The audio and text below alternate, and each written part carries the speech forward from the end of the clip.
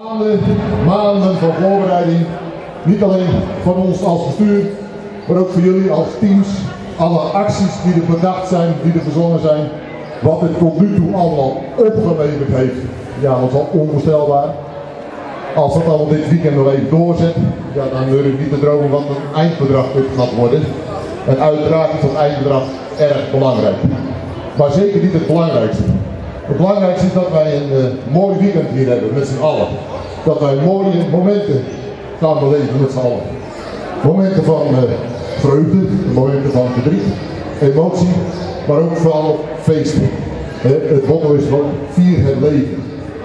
En we weten allemaal hoe belangrijk het is en allemaal hoe vanzelfsprekend het is als je gezond bent, als je alles kan doen en laten wat je wil. Totdat je een mededeling krijgt dat het ja, anders is. Dat je of hebt.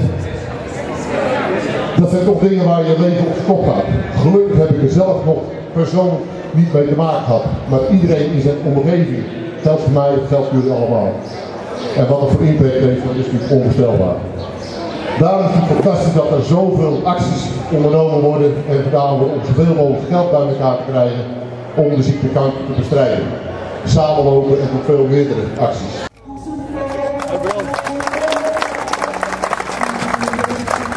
We hopen ook dat we die fantastische uh, opbrengst van twee jaar geleden, dat we die dit jaar ook gaan, uh, gaan overtreffen.